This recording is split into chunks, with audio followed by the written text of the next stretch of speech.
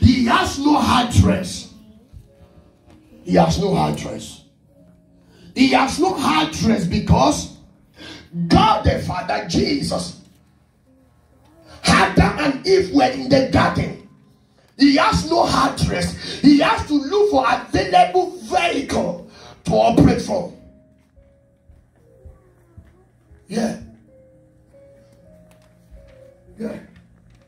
And it's being proven by Bible scholars that that serpent in the garden that devil used was not really crawling with the with, uh, with, with, with, the chest from the God. It was just the Bible referred to him as a beast.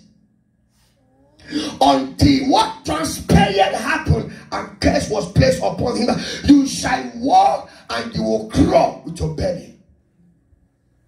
Let me tell you, the space you give to the devil becomes his address. He has no address. That's why we call him a bastard. He can't be traced to any father. And there are a lot of satanic oils, demonic anointing that has infiltrated our rank as believers. Satans are baptizing people and he has hijacking destinies. I'm telling you the fact. Satan has no address. Satan, somebody say Satan. Satan. Okay, somebody say Satan, Satan. has no address. He said, give no place. Neither give place to the devil.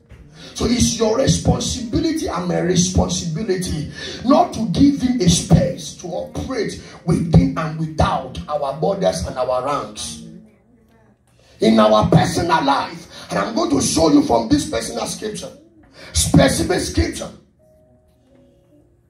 Yeah.